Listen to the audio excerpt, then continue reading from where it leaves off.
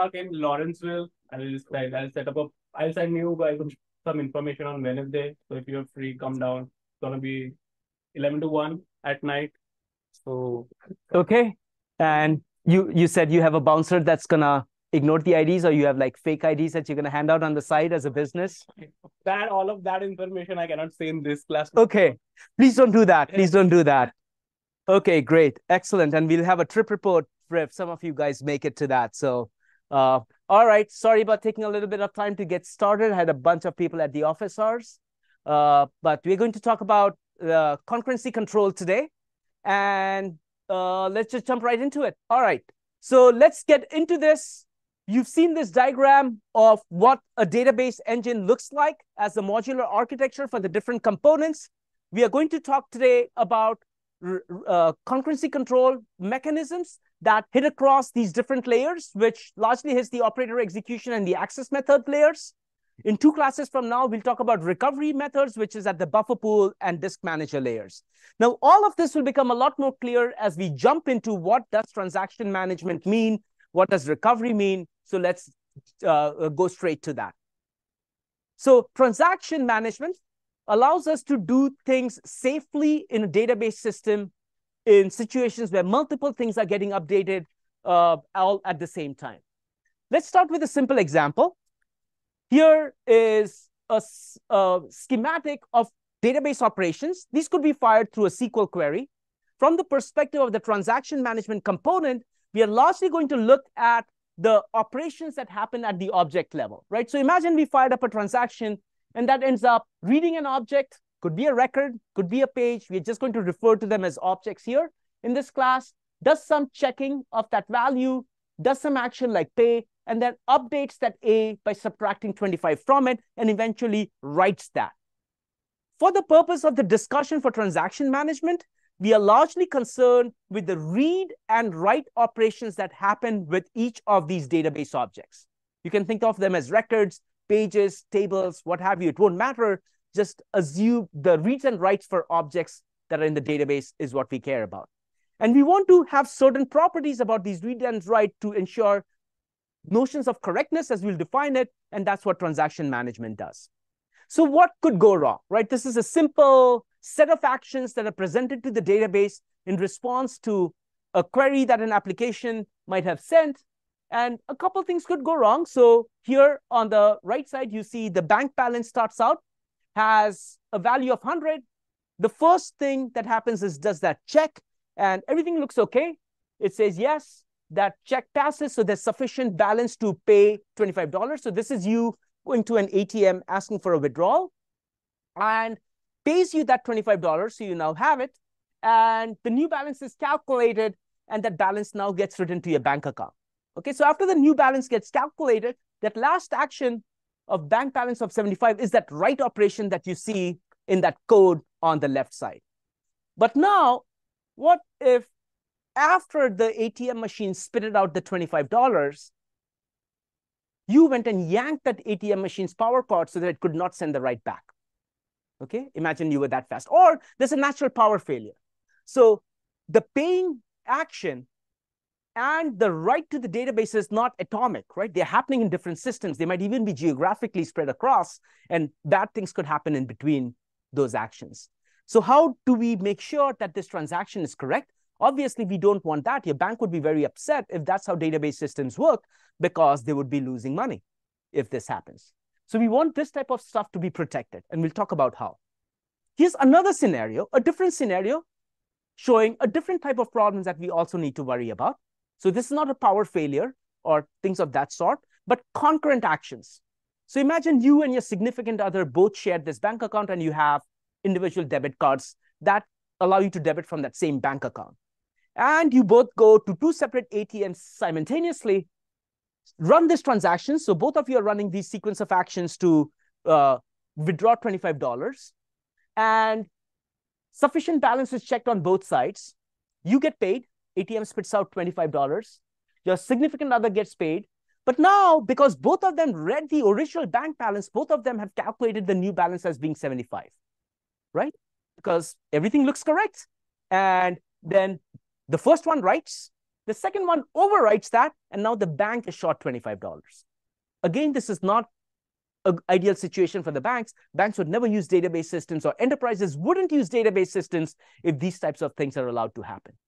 So semantically, what we wanted is that we wanted the database application was sending this read and write request, right? That was written by some application code that is firing up these SQL queries to the database system. And now, through no fault of the application code writer, right? That's what the application code writer is doing, effectively writing the code that ends up sending those read-write operations to the database. It feels the database system is just corrupting the data. So that's obviously not what we want of a database system. We want it to be well-behaved. We want the final balance in this case to be $50. Okay, so how do we deal with these bad uh, system systems behavior and have the database be coherent because ultimately the database is the keeper of the records. That's the master copy of what you have in the bank account, and it has to be consistent in spite of all these different failure scenarios. So one system way, assuming that you don't have power failure, is to say, okay, the second type of option that I had where concurrent actions were corrupting each other is to say, I'm going to have a very simple database system. Even if two people requested the queries at the same time, I will only run the one query at a time. I'm going to queue everything up, all the requests I get. I will run one query at a time, and uh, I can get a sensible, correct behavior for the scenario we just talked about. I can also start to do things like before a transaction starts, I can make a copy of the entire database, make all the changes there. And if the transaction completes successfully, so didn't have a power failure, all of that other kinds of stuff, uh, I will overwrite it with the new copy. Both of these are really bad. From they will give you some form of correctness, but they're really bad from a performance perspective because it would be a very, very slow database system and you won't be able to quite use that, right? Today, when you go to Amazon and you're uh, checking out your shopping cart, you know, ultimately something's going and issuing database uh, transaction records to debit from your, to add to your shopping cart. Eventually another transaction gets there, sent to your credit card account to record that that amount needs to be debited. And all of that works correctly, even if multiple people, uh, multiple account holders on the same credit card are doing the transactions at the same time. Multiple shopping carts are getting created. So we really want to be able to do this at scale. We don't want to do one transaction at a time. We want to be doing thousands, tens of thousands, if not millions or billions of transactions at a time. Okay, so how do we do that? That's a really hard problem. Okay, we want better utilization for the database hardware. We want higher throughput, better response times. And of course, we want it to be correct so that the right thing happens. And we'll define what that notion of correctness is. And in many cases, you also want it to be fair. So if multiple transactions come at the same time, you want all of them to be given that equal chance to complete and not just say, I'm going to hold two of you in the back forever and just let the other others go forward, right? That's not fair. You want to have some notion of fairness, okay? And some systems may not have that. Sometimes you have priorities where you say, I want high priorities transactions to go through, but assuming you want fairness, you at least want the capability of having fairness. How you balance that in terms of partitioning your workload to let higher priority stuff go uh, is a different issue, right? But you do want the mechanism of fairness to be built into the database system. Okay, questions so far in terms of what we are trying to achieve? Yep. So were trying to solve the first issue what we will try to we will solve all the issues except the power failure issue. And the power failure issue will be solved in you we'll get to all of that solution later on where the power there's a very subtle issue in the power failure stuff which is with all the stuff we'll talk about in the next few lectures we can make sure that the database record uh, ends up in the right state. But if the bank has paid you $25 and there's a power failure there's extra action that is needed because that $25 has been a physical action, everything else is a digital action. And to undo that action of paying you $25 when they should not have paid, the bank would have to then do a separate transaction in physical space where they'll send you a letter saying, whoops, we accidentally paid you $25, but here's what, what your bank account is, right? So there are other ways to do that. We won't, we will be able to undo all the reads and writes if we don't uh, want them to happen. But you know, if the transaction is pay $25, there's a physical action, you can't undo it. You'll undo that by doing other physical actions in the physical world. Okay, similarly, if there's a transaction that fired a missile, you can't undo that missile. You can't bring that missile back. You'd have to send an apology letter or something else like that, right? So, uh, or something really bad. So it's like the undo for physical actions in transactions will require undo in the physical world, which we won't cover. And there are mechanisms to do that that are business related actions. You'll sometimes get a letter from your company saying, whoops, we made a mistake. Sorry about that. Here's what really happened. Oh, and by the way, here's a $10 gift card to make up for a mistake. Uh, but all the digital actions, the reads and writes, we will cast them into a very strict structure to guarantee very well-defined properties of correctness that we will uh, hold through the mechanisms we'll talk about today and going into the next few lectures. Okay, great question. Other questions? All right. So we want these arbitrary interleaving of operations and be correct. So before we go a little bit further, just want to solidify the notion of transactions. We're going to carry out these operations and the database, as we just talked about, is only concerned about the read and write operations to the database objects, right? These physical world actions of paying an amount or, you know, uh, uh, starting, firing up a missile, stuff like that. Those we won't be able to repair if bad things happen, okay? And there's a, in the advanced database class, depending upon the material that's there, sometimes we'll talk about stuff like that and what are compensating transactions and stuff like that that might happen and what people might do uh, uh, as other ways. So, but for the purpose of this class, we'll just look at in this, in this many ways, a more limited scope. Reiterating what we talked about, we'll think primarily about read and write operations. You notice that in the code that I had, there was also a check, there was a subtraction, there was math and stuff like that from the perspective of what we want to cover today for transaction management, all we care about is did an object get written? Did it get read? And do those reads and writes end up interfering with each other in bad ways? What are those bad ways and how do we prevent those bad ways? Okay. And how do we prevent those bad ways while allowing the maximum number of transactions to work on the system concurrently? That's the hard part, right? Because we already saw there's an easy way, which is to just do one transaction at a time. So you want to do better than that. All right. So it's only these objects, which we'll just refer to as variables A, B, and C. But if you want to have a simple model, you can think of it as a record. But inside a database system, and this we cover in the advanced database class, that A could be a column, which is uh, doing things at a finer level of granularity, or it could be a page, or it could be a file, or it could be a database.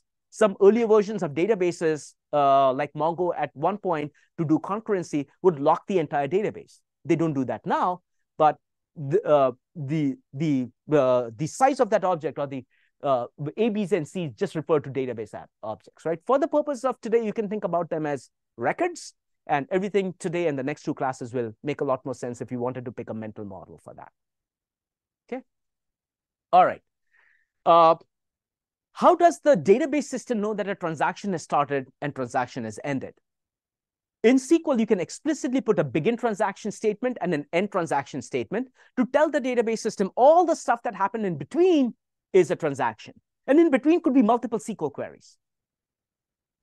If you don't have a begin and end transaction, like all the stuff you've been doing in your homework, when you fire up a SQL query, implicitly the database system will put a begin at the beginning of the query and an end at the end of the query.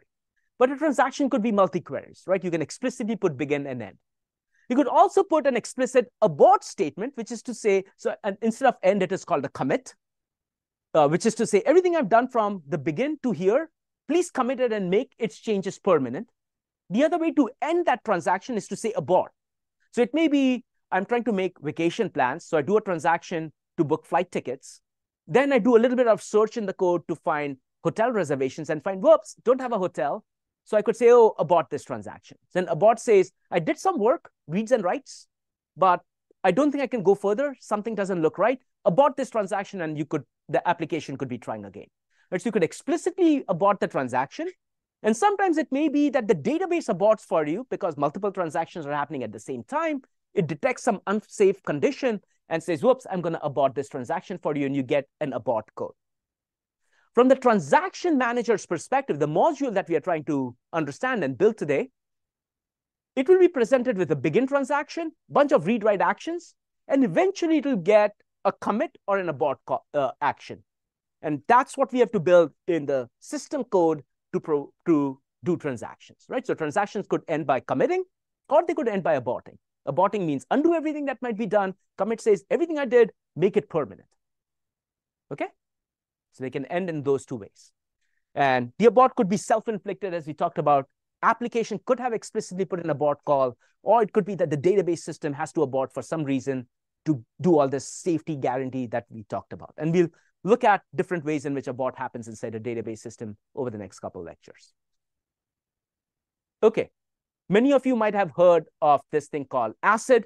It's a cool acronym uh, that was that the community came up with. a couple guys who came up with uh, uh, uh, uh, to say what are the properties we want of these transactions.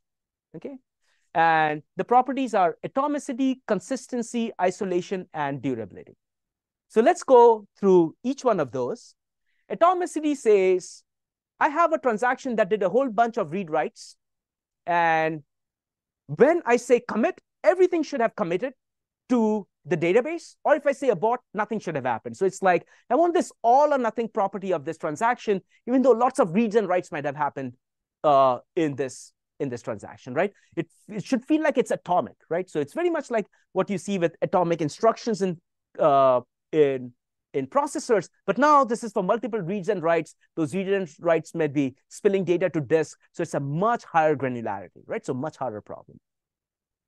Consistency says, uh, consistency is a little weird one, and I'm actually gonna go uh, to that last. Let me go to isolation and I'll come back to consistency. Isolation says, uh, if two transactions, like we had those two debit transactions happening, withdrawal of $25 from the bank account for you and your significant other, uh, we want those to not interfere with each other. It should feel like each transaction happened by itself. So even though we don't want to run one transaction at a time, we want the illusion of the system running one transaction at a time. It should feel like when my transaction ran, I had the whole system to myself and nothing else interfered with me. Okay, does that make sense? So it's like I should feel no one interfered with my work. Durability says that if the database comes back to me and says, I've committed your transaction, after that, even if there's some failure, the disk fails or the memory fails, I should be able to recover that uh, state of the database with all the commit uh, information in that. So if I had changed the final value of that bank account to 75, the database said, I've committed your transaction, right? That commit call came back with a green signal, and then there's a power failure. When I bring back the machine, I should see 75 in there, not 100, which was the value it started with. Okay? Now, going back to consistency, and I'll, I waited for that because I'll just put a little labels around how we go about doing uh, things like that.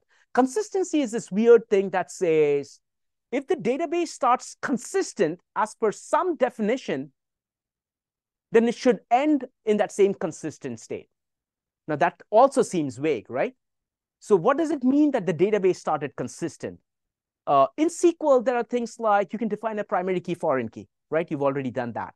SQL also has these things called constraints, where you can say at all, uh, uh, uh, and uh, things called checks. So a check might say the price, I've got a price field in a table, and that price should never be greater than 100. Okay, and the database is required whenever any updates happen to the database system to make sure those things hold true. So consistency really says if the application has specified in the SQL DDL all the things that they want the database to hold correct, then the database transaction shouldn't mess that up. And the main ways in which that happens is by checks, primary keys, and you can also define uh, uh, uh, checks outside tables and other ways of the defining constraints. And you really want all of that to hold. Okay. So it's sort of weird, but it says if the application has defined the structure of the database correctly using everything that SQL allows with these checks, the transaction management or uh, everything that we do here shouldn't mess that up. If I said A plus B must always equal to 100 and someone modified A and modified B in the appropriate way uh, so that it is still equal to 100, in a single transaction, the transaction shouldn't violate anything and, and change that constraint. So it should maintain that correctness. Okay. And we'll come back to it. It sounds a little vague, but in many ways that C was fitted into that ACID definition because the real key things that the database done is AID, but if the acronym was AID, then it didn't sound as good as ACID. And this was done when hippies were ruling the Bay Area and Europe, and they wanted ACID everywhere. So that's the uh, uh, uh, that's my understanding of how C was plugged in. We'll talk about different mechanisms, and those are what you see in those blue bubble. Uh, atomicity and durability will require this mechanism to redo and undo stuff. Oh, I've changed A and I've pushed it out to disk. I've pushed it out from my buffer pool to disk. Oh, but I need to abort that transaction. Uh, so how do I undo that? Oh, I committed a transaction with a new value of A, but it's still sitting in my buffer pool. It didn't make it to disk. I need to redo the disk copy. So the redo and undo mechanisms is what the A and D provides. We'll use things that we'll see today and in the next lecture that cover that. As I said, consistency is provided by making sure there are integrity constraints defined in your SQL DDL, and the transaction management system shouldn't violate that. Isolation is done by something called concurrency control, which we, which we will also look at, right? And locking and other mechanisms will come into play there. So we're going to dig into each one of these, so let's get started. All right, so that's our agenda. Dive into each of these four components. So atomicity of transactions, uh, there are uh, two possible outcomes for executing a transaction. It either commits or it aborts, right? And aborts could be explicitly triggered by the application, or it could be something where the database says something's unsafe, I need to abort you.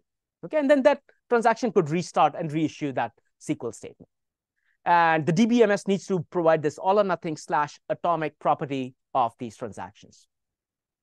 So let's make it a little bit more concrete. We've been playing around with examples. So we'll look at a couple scenarios as we dig into this. We take $100 out of an account, uh, but the database system aborts the transaction before we transfer it, right? So we want to make sure uh, uh, that that is reflected correctly. Scenario two is we take $100 out of an account, but then there's a power failure before we transfer that. We've kind of seen both of these transactions, but just giving you more examples of what that should be. And, you know, we have to determine what's the correct state of the account after both these uh, transaction aborts. So how can we do some of this stuff? Uh, the atomicity part can be done in one of two ways, logging and shadowing. One way is to log everything that we do. So if I'm recording all my actions, the minute I change a value from 100 to 75, I can record that my value was 100, I change it to 75. My before value was 100, after value is 75. Now I can take those logs and I can maintain those log records and I can store those log records in memory and at appropriate points move it out to disk. Once it moves into disk, I know it is going to be there. It will survive that power failure. If I don't think I can trust a single disk, to hold that log. Many times people will use disk mirroring. Remember we talked about disk mirroring a couple lectures ago? So there are two disks that will have a copy of that same file. I write, but it's actually being written in twice, in two places. So that if one fails, I still have that other copy. And if both fail, you'd have to make a third copy and so on. So you have to decide what failure you can tolerate. But once a log hits the disk, you kind of know you can recover from that and reconstruct the state of the database. And we'll talk about the protocol Aries as we uh, in two lectures from now, how we go and make that happen. But logging is the mechanism that most database systems will use to go and record the changes that are happening. Okay? All right? Does that make sense? Questions? Yeah, uh, how does this relate to like storing, like like uh, at the storage level, you store log-based storage, right? So you, that, isn't this sort of the No, no, don't confuse this with log structured file system. Is that what you were thinking? It will look like that, but it's different. So a lot of this originated in the 70s and 80s. Uh, it's a file of records, but the records are going to be variable length, and the structure will have a certain set of common fields. Uh, but it, think of it as a file with a bunch of variable, uh, with some fixed length components and a whole bunch of variable length. It's sitting in a file that will often be called a log file, and it's basically going to be written sequentially from first to the end, and it'll be it'll have its own buffer management. So it'll the recent pages will be in the buffer pool. At certain points, we will have to tell that uh, the buffer pool to say, I cannot commit this transaction till this page you have here in memory. That needs to hit to disk before I can commit this transaction. So we might hold the transactions commit. We won't return it till we have. But you can think of it as a file of records, just like a uh, regular uh, file, but it's got its special structure and schema. But if you had a, a DBMS with log structured storage and with this logging approach, you have a lot of redundant information. Yeah. So the question is, if I have a log structured file system, do I need logging? A log structured file system just works for that file. So in a database system, I may have 100 tables. A transaction may have updated in five different places. I need a global log logging mechanism to deal with that. So traditionally what will be done, I have a log file, which is going to keep these changes for all the changes that are happening across, not just for a single file.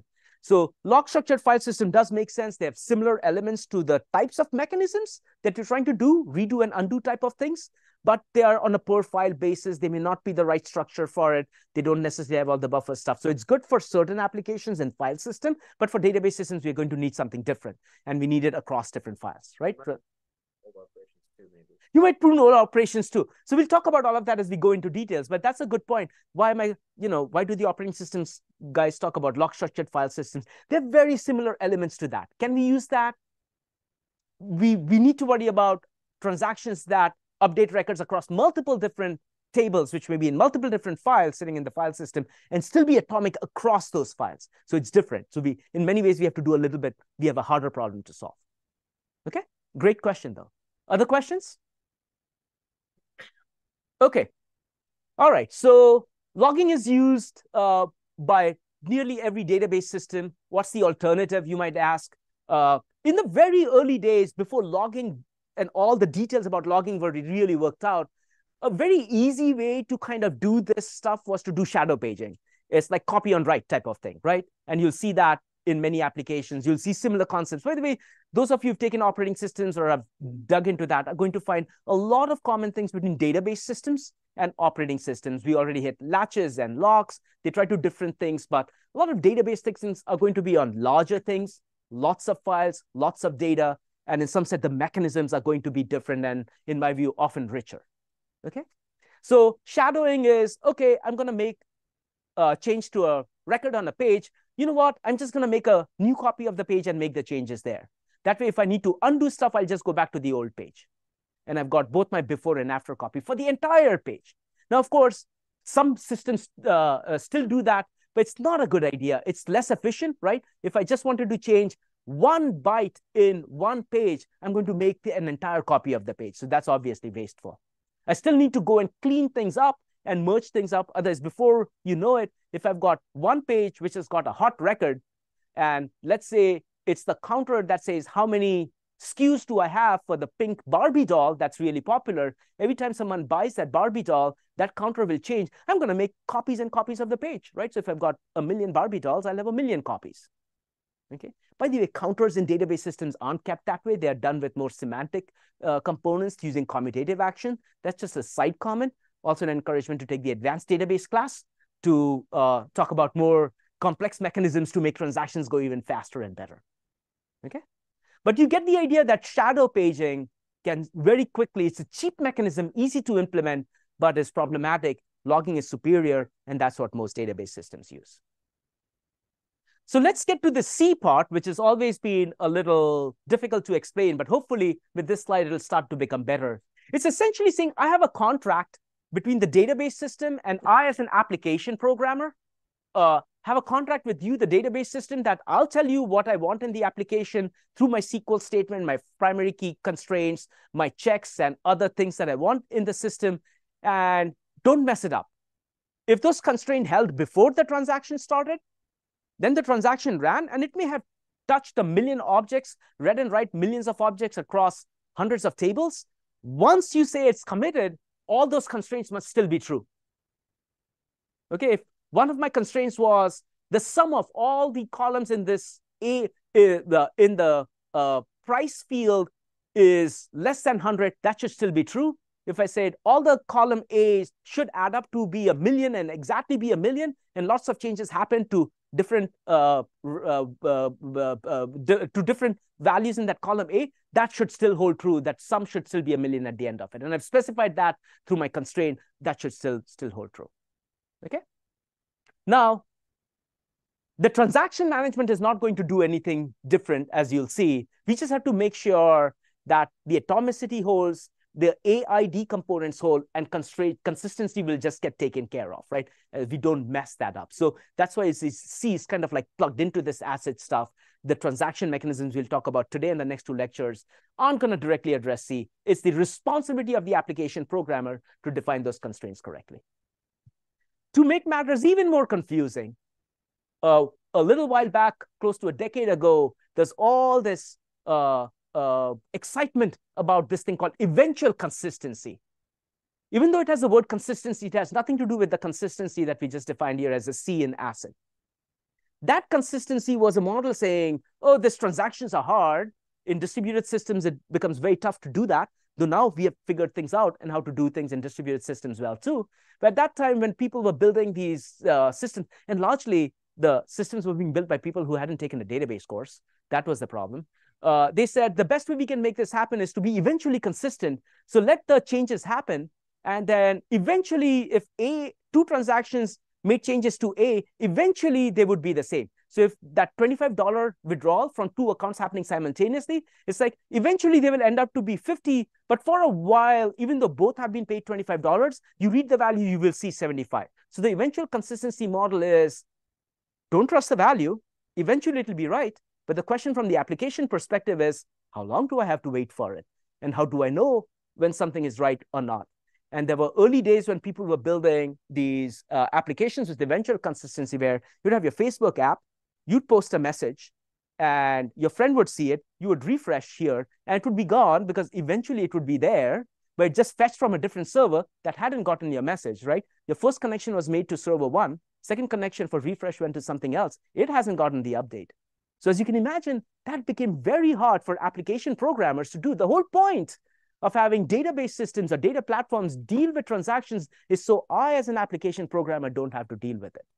So it's now universally accepted that it's a pretty bad idea unless that you have very strict requirements for performance that require you to do nothing but just that. Okay? But it is not the go-to way to build data platforms by saying, you, the application person, start worrying about transactions.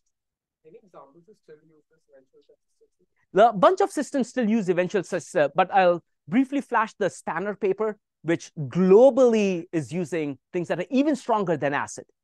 And then again, if you take the advanced database class, we talk about stuff like that over there is there. So it's not that systems don't use that today.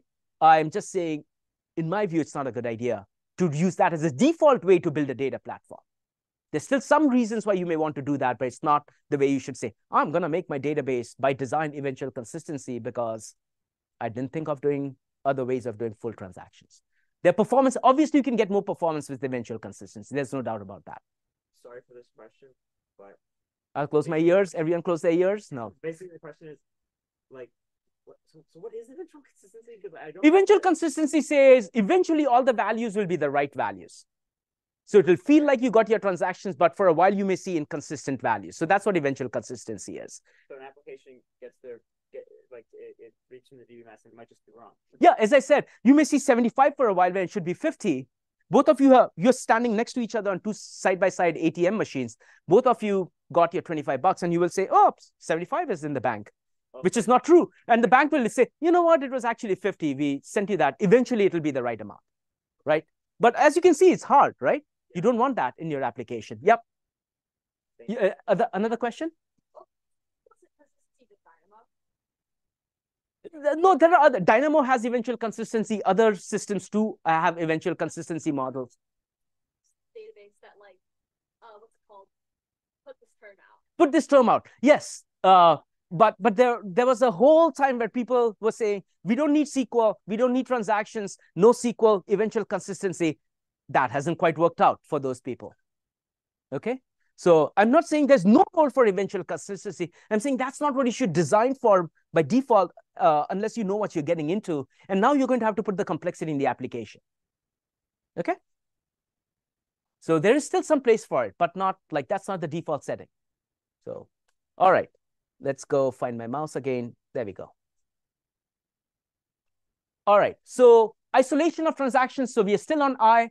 Use a submit transaction. Each transaction executes as if it is running by itself. And obviously, it's an easier programming model, as we talked about. And the DBMS is going to do its stuff to give this one at a time or isolation uh, as a principle. So uh, how does it do that? There are two classes of methods. And again, today I'm just going to outline it at a high level. We'll get into the details of it uh, in the next lecture. The two classes, one is pessimistic, which is to say even before I let a read and write happen, I'm going to be pessimistic. If I think something bad's going to happen, I'm going to hold you back, hold you that transaction that I think is going to start this bad action back. Okay, and we'll see how that happens in a little bit with, with a couple of mechanisms. Uh, the second way uh, is basically to uh, do something called uh, uh, optimistic concurrency, which is to say, I think every life is good. I'm going to let every transaction go through. I'll still provide the isolation principle so that they don't interfere with each other. But I'm going to do that by checking, assuming everything is going to go well. So it's like, everyone go do your reads and writes. I'll keep track of it. Go make your changes. But before you're ready to commit, I will do some checks to see if you guys interfered with each other. All of you guys, all of you transactions that were running together simultaneously. So optimistic says most transactions don't conflict with each other. So I can get a higher performance system by being optimistic that most things will work out. It will still be correct. So it'll make sure bad things don't happen, but it's a different philosophy. Okay? All right. So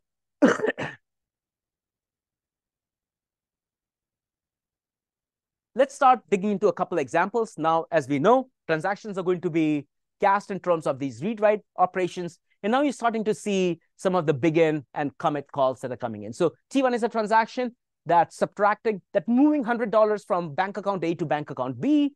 And T2 is a transaction that's adding 6% interest to all the bank accounts. And assume this is a small bank, so it just has two bank accounts. Okay? Also keeps the example simple. Uh, what's the possible outcome of running these two? There are two possible outcomes. One is uh, assume both A and B start with $1,000. If I run A followed by B or B followed by A, I'm going to get two different uh, uh, execution strategies. But eventually, A plus B should be 2,000, and 6% of that means that the total bank account across those two banks should be 2,120, right? So that's what we want to end up with.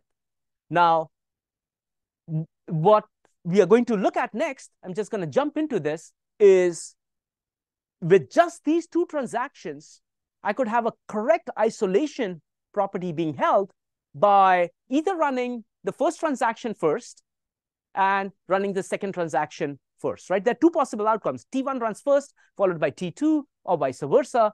And so here you can see one example where the value of A uh, is 954 and B is 166. That will correspond to having done the $100 transfer first, then adding 6%. And the other one is doing it the other way around. Okay. So either one of those by the isolation principle is correct. If both transactions are in the system at the same time, we are okay, we as a transaction management system are okay in picking that order. So let's just look at it more uh, visually and that might make sense. There's this notion of a serial execution. And the serial execution diagram that we'll see in the next 10 or 15 slides, all are going to have time going from top to the bottom. So imagine you are the machine and you're watching transactions come at you. And isolation basically says, if this execution is such that you can show me, prove to me that no matter what you do, whichever order you allow the transaction, it feels like one happened before the other. And that one happened before the other could be all of T1 happened followed by T2 in this case, which is the example on the left, which is when you end up with A is equal to 954 and B is 1166, or T2 followed by that. Both of them are correct. But if you are going to interleave these reads and writes for these two transactions, the database better end up with one of these two correct end states. Which one? Doesn't matter, but it should be one of those two, not, a, not something else. Question. Why are we allowed to do two transactions exactly in parallel? Like, shouldn't like obviously this is like an example, but like if it was a bank, like one of them would happen first, right? No, that's the whole point. So the question is, why are we doing this in parallel? That's the whole point. Uh, right now, this is a serial execution. So T1's happening after T2 in time. But what we want to do is to imagine I've got two cores in the server. And today's servers have 40 cores and database machines sometimes have hundreds of machines. I don't want to be just running one transaction at a time. I want to be able to do as many actions at any given point in time. I want to do as many things as possible, right? Because I want to use all the hardware I have access to. That way I can get more transactions in the system, higher throughput, and lower latency potentially. basically lowering the standard for correctness here. No, no, no. We will not lower the standard. So hold on. We will not lower the standard. We are definitely changing the standard a little bit to say any permutation of T1 followed by T2 is allowed. T2, T1 and T2 can be interchanged as long as we can prove one did all of its work before the other. So hold on for two slides. You're right. It's like, why is it not only one possible way that T1 should be followed by T2? If we did that, then we would allow less parallelism in the system. Okay, so you're going to relax the strict notion of what is correct. And this is where there's this notion of strict uh, uh, serializable, which will say the transactions should feel like they retired in the way in which they happen in the physical world. We'll talk about that in the next class a little bit. And we'll talk about it a lot more in the advanced database class. Okay, first let's get a little bit right. And this is, by the way, what most database systems do today. They will take this slight liberty of rechanging it because it's also like T1 and T2 issued at the same time. What does it even mean for it to be issued at the same time? They may be in different uh, cities. If you're sitting next to each other, it's not as if you would be pressing the button exactly at the same second because that doesn't happen, right? So it's like, what does simultaneous mean? So we're going to be a little bit more relaxed. All we have is to say for us to be have this proper isolation, the final values should be one of these two, not a third value. Look at this slide here first. Yep. So here T, uh, T1 starts and does its subtraction of 100. So now A has the $100 already removed. T2 starts and gives 6% interest to the two bank accounts, but the bank account value for A that it is looking at is $100 short. And so it ends up with a value of 2114 as the sum total, which is $6 off from what that original uh, amount should be. Okay. So what we want to allow is these two, the interleaving in the previous slide that is safe, where you end up with the correct value, even though there's interleaving. But this is an example of an unsafe interleaving where you ended up with the wrong value, right? So this is fine. Sorry, I, uh, I was here on the wrong slide here. Uh, this is fine. And the question is, how do we determine that this is okay? This type of interleaving of actions across different transactions is okay, but this one is not. Okay, so let's look at how we go about doing that.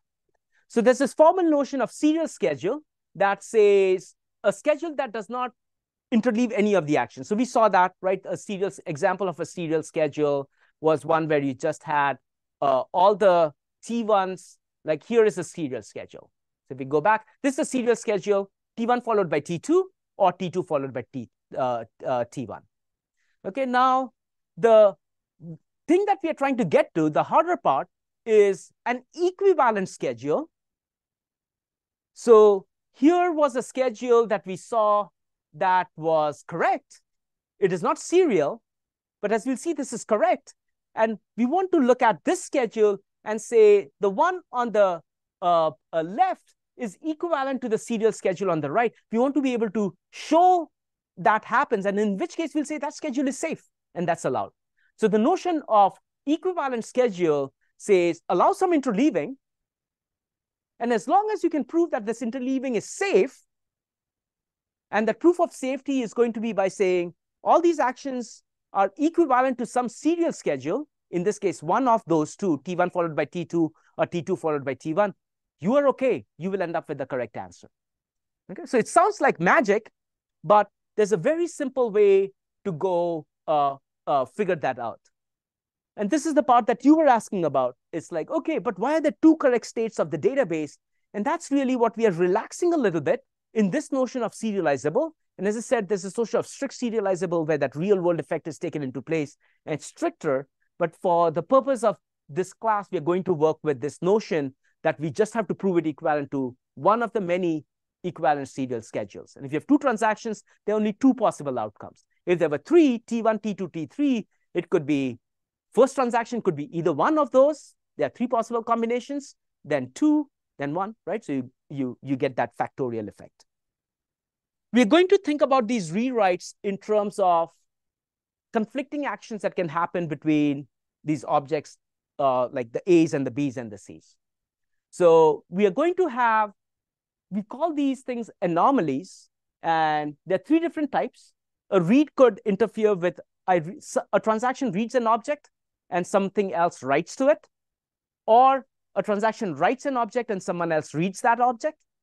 The third one is two transa transaction one writes to an object and the other transaction also writes to that object. What is missing from this combination is read-read, right? Which is obviously not a conflict. If I'm just reading this two transactions, if I've just got a copy that's read-only, many transactions could read it. You're not going to conflict with each other, right? It's a, it's a read-only copy. All right, so let's take these read-write conflicts and uh, go look at that. Here is a schedule in which there is a read of an object A followed by a write of an object A as these actions got interleaved. And so that would be an example of a read-write uh, conflict. There are other conflicts in the schedule too, but, but what's the downside of this read-write object uh, conflict? Transaction one read the value A, T2 ran, and then T1 reached that value and got a different value, right? So it was 10 before, T2 made it 19, T1 reads it again, and obviously it is not seeing the isolation principle, right? In the same transaction, if I read the value twice, I should see the same value unless someone else interfered with me. So it violates the isolation principle, and so this is bad, okay? All right, let's uh, look at uh, the, and so that's called unrepeatable read because when you have a read-write conflict, same transaction reads the value twice, it's going to see different values. A dirty read is I read a value, let's say it is 10, write it to be 12. Someone else reads the value, which is 12. So far, no problem. But what happens a little bit later is that transaction T1 aborts. And when transaction T1 aborts, that value 12 should never have been read because it didn't get committed to the database. It was an intermediate value which is getting thrown away, right? That's what an abort uh, should do. And so now transaction T2, when it was reading the value A, read a dirty value which should have never been in the database because of that abort. So that's called a dirty read, right? A write-write conflict is T1 is writing a value, uh, T2 is also writing that value. And when uh, T1 writes another value B, to T1, it feels like it's writing $10. Imagine A and B are now columns, and it's updating a record where $10 is in Alice's account, and it's column one is 10, uh, uh, the account uh, amount, and B is the name of the person. It thinks it's adding 10 to Alice, but the other conflict over there is writing to that same record, 19 and Bob. So you have 10 in there, 19 and 10, Bob got written to that same record, and then you have this uh, Alice uh, B that is written. That update of 19 and Bob just got overwritten. So transaction two did its work, but its values just got overwritten. So it lost its update. It never got made it, made it to the database. Okay? So the we'll use these properties to then define how to go make this equivalent schedule work. There are two types of uh, serializability, conflict serializability, which we'll talk about next. Something called view serializability. Since we are running out of time, I might just totally go skip that piece, but I'll briefly allude to what that does. Okay, won't grill you with exam questions on view serializability. Okay, so it's okay if you don't totally get that. Conflict serializability is what database systems implement, and let's just jump into that. Let, let me just go with this graph form here to make it even more easier to understand. So what we'll do is the following. We'll take operations that we have, and here's the schedule that we have. We will start going through that and enumerate all possible conflicts, read, write, write, write, and write, read. Okay, those three conflicts.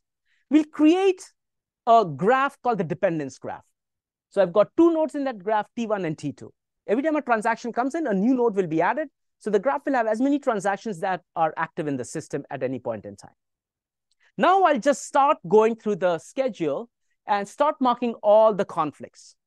And I start with the first conflict that I see, which is a read-write. Doesn't matter what the conflict is, as soon as I have one of those three types of conflict, read, write, write, write, or write, read, I'm going to put an arrow there.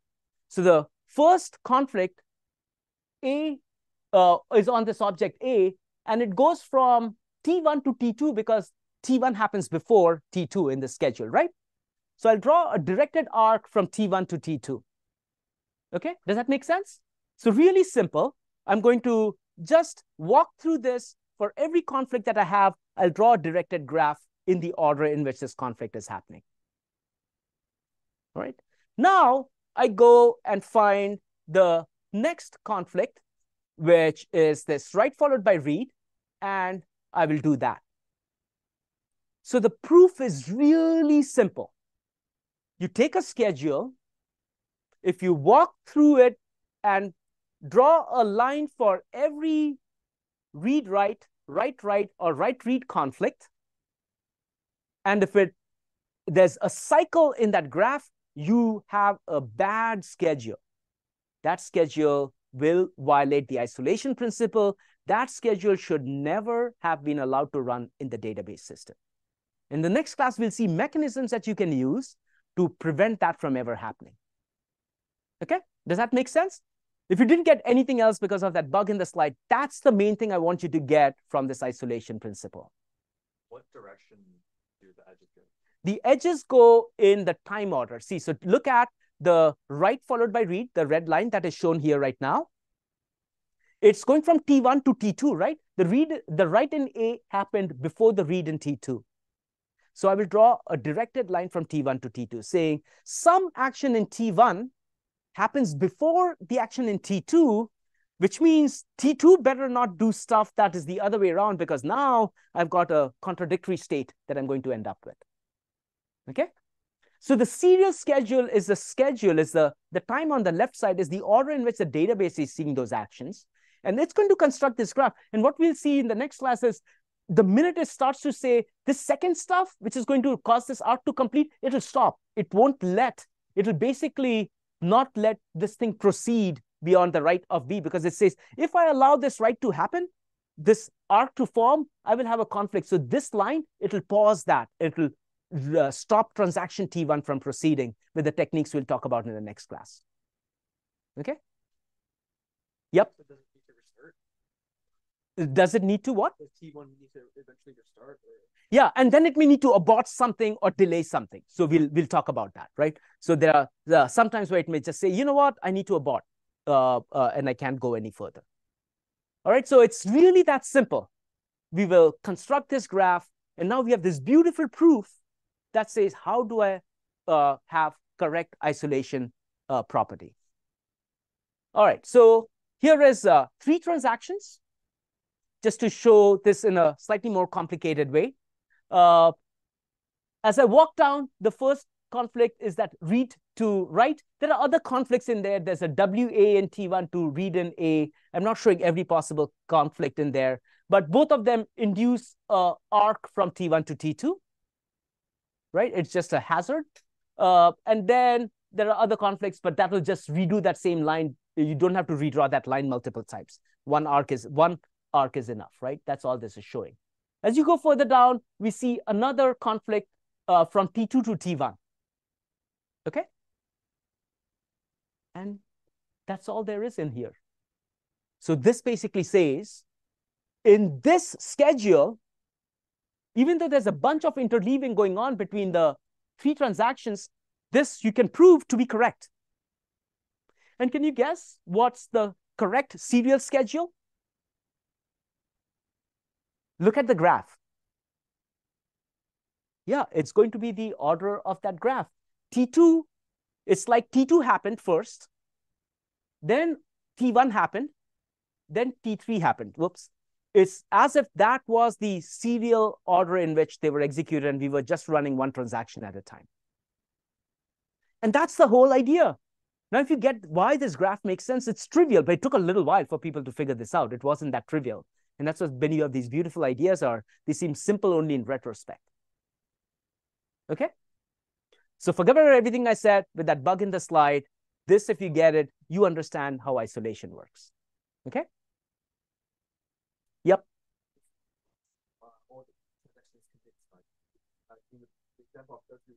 Yeah. Yeah, and we'll talk about aborts and other kinds of special handling in there. But what is true is that even before the abort, if you start to see a cycle, you know you will end up in a bad situation, so you need to stop it.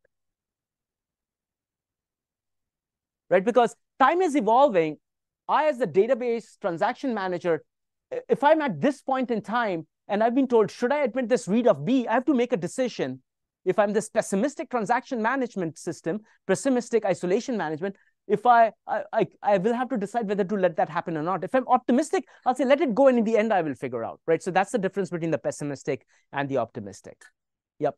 So is this schedule being created before it happens or like while It is being created while it's happening, right? So you can imagine something like this is happening in the system. Uh, third step is run. Uh, we start with begin on T1, then read of A is done, write of A is done. System says, I can let you go. Then when the right of A comes, system will say, you know what? I need to put an arc in this graph. So as time is progressing, these arcs are being done. The uh, reads and writes are being presented to the system as time evolves. so reading it doesn't know And that's the difference between the pessimistic method and the optimistic. Pessimistic will say, first time I think there's a problem, I'm going to stop you. And we'll see how in the next class. And optimistic says, I'll let everything go, but I know how to get you back to a safe place if bad things had happened. Okay? so, so is this the optimistic? This is not optimistic. This is just saying, how do I detect that something is good or bad? Right? This is the mechanism. Yep. So does this mean that even if there's a cycle, it could still be okay? Uh, if it is a cycle, it is not okay. How do I find the cycle? When do I find the cycle? Is where the difference is. Do I find the cycle as soon as it is formed, or do I find the cycle after I let everything go? So that's basically the whole theory of saying, is this equivalent uh, to that order or not? Uh, so here is another example, and this is where we are getting into this view serializability, and kind of what is happening over here in uh, uh, here what's happening is A is getting $10 removed from it, and there's a, a sum that is being calculated that's getting printed out over here. Of course, there are uh, problems with this transaction because that one causes the arc from T1 to T2. And then you have this transaction. So this is not serializable. But if instead of the second transaction doing a sum of the two transactions, if the code in there was only about saying find the number of transactions that have values, account values greater than 100, the fact that it is a cycle doesn't matter from the semantics of that second transaction. At a very high level, that's what view serializability is. It'll, if you knew something about the semantics of what was happening, you will admit a few more types of schedules that you would not otherwise. And as I said, that's all I want you to know for this class. If you didn't get that, that's okay. Let it go. We're not going to talk too much about view serializability. Uh, it'll just allow certain types of cycles because it says, I think the application is okay. All right. And there's a formal definition of it if you're interested in looking at it in terms of what it allows. It basically uh, allows a few more schedules than a strictly serial schedule will allow. All right, so conflict serializability is the main thing that uh, we want you to know about. All right, pictorially, here's the universe of all possible schedules, including the bad ones, the ones we don't want to happen. Uh, sorry, serial schedule is that strict serial stuff which we talked about. T1 followed by T2, and that's the only thing that will allow. Conflict serializable is where we are allowing a few more combinations, and view serializable is where you might have a little bit more by way of this application performance. Okay? And there are many more layers in there, and we'll uncover some of those in later classes, and again, a lot more in the detail class. So we still have one more letter to cover, which is the D, which is the durability, right? We did atomicity, consistency, isolation, which is where we spend most of the time today. And the last one is durability, which we'll cover really fast. Uh, durability, we have a full lecture coming on it, on this in two, uh, the second class from now, which is about making sure that the changes that we make to the system, we're making changes to A's, the B's, and the C's and stuff like that just in memory, right? If you're updating a column value or a record, that's sitting in the buffer pool. Uh, but what happens if you have a power loss and memory is volatile? So those changes never made it to disk, but you might have committed that transaction. So durability is the aspect that says, if the database commits a transaction, oh, by the way, the database is allowed to use a buffer pool because that's an efficient way to build data processing systems right? You don't want to go to disk every time. You want a buffer pool because buffer pool, accessing data in buffer pool is just so much faster than accessing things on disk. Uh, but if the database says it's committed, you want to make sure that if there's power failure, you can get the right values in the database. So durability will do that by making sure when the commit happens, it's going to make sure certain things get written to disk. and It'll try to do very small amounts of forced write to disk so that it can provide this durability property. Okay. And as I said, in two lectures from now, we'll talk about that. So that's basically what ACID looks like. Does that make Uh, this obsolete? But Yeah, uh, uh, we can talk about that offline. The answer is the principles will probably apply. It's like I have volatile storage and non-volatile storage, and I can apply this principle of durability across any of those systems. Yeah, yeah, the same principles do apply. Yep. So are the logs and shadow pages in memory still? The logs, sorry? Are, are these are the logs and like shadow pages? Yeah, the logs will be kept in memory. We'll get to that in two lectures from now. The log records that we create will be kept in memory too, but at appropriate times, we will actually flush them out to disk to guarantee the durability property. So so what happens if we we We'll talk about that. What happens if the log fails? That's the whole lecture, two lectures from now. It's a full lecture. I can't give you a 10 second answer. The 10 second answer is that we will make sure that absolutely what must be written to disk is written. And if we write the wrong thing, we will look at the value and undo if we need to. We'll do one of two things with stuff we write on disk either redo the operation because it's inconsistent with what was in memory, or undo it because we wrote something that we should not have written. Okay? So we'll do redo and undo logic on, on those. Okay, so here's the conclusions. Uh, concurrency control and recovery are amongst the most important functions. The transactions are super important. Uh, that's a quintessential definitional component of database systems. And if you go back to the early days of database systems, that's why they started getting adopted in uh, enterprises because they allowed all this record keeping. Now I need five minutes to go over a couple things, but before that, we've talked about this a few times that there are there's still a lot more things you can do with transactions. There's this breakthrough paper that came out from Google called Spanner.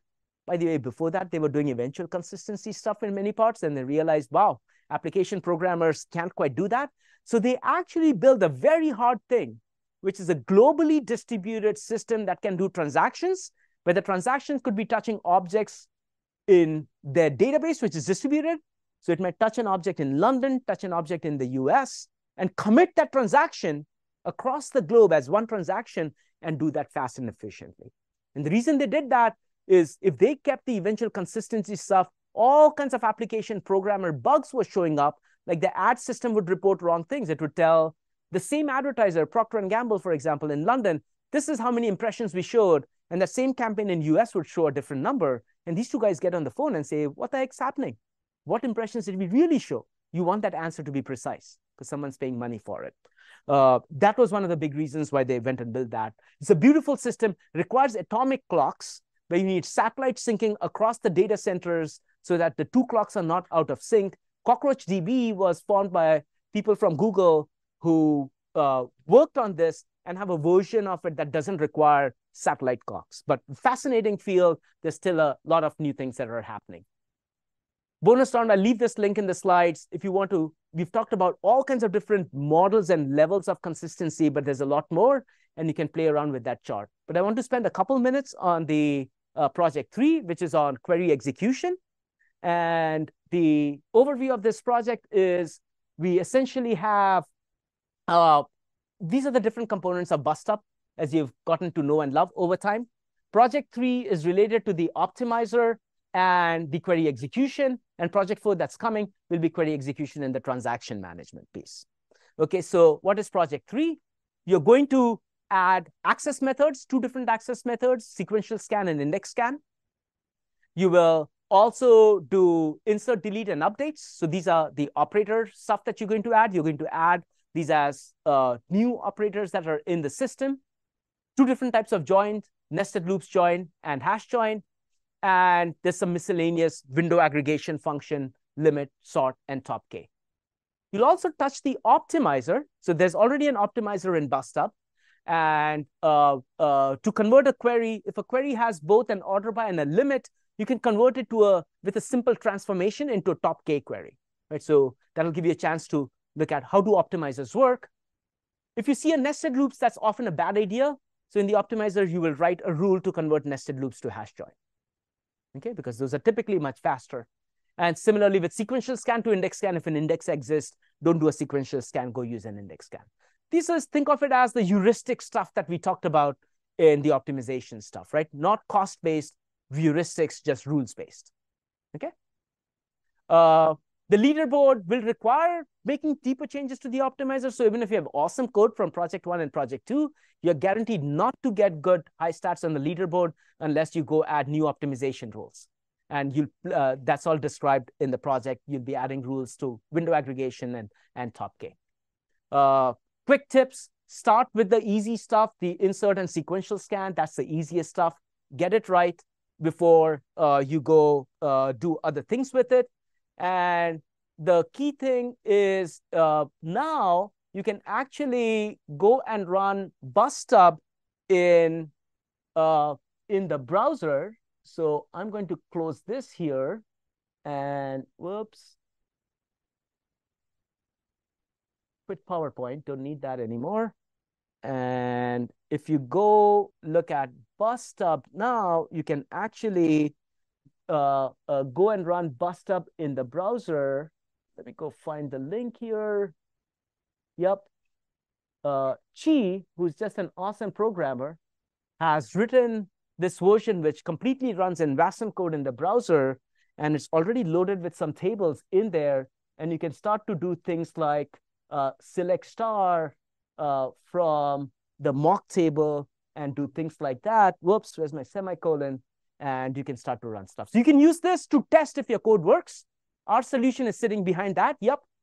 You should like if you're having one thing that can really help is like explaining on some queries and then like Yeah. then seeing how that differs from your query plan and how like what potential parts of your code or like what executors may be breaking. Yeah.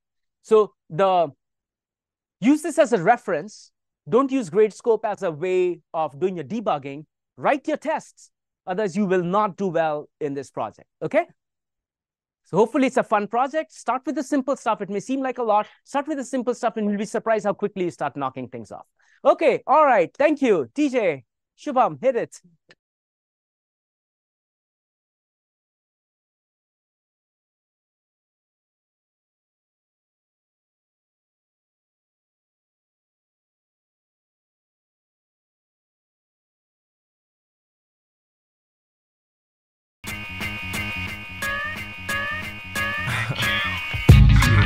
Shit is gangsta. Gangsta. Bad boys are gangsta.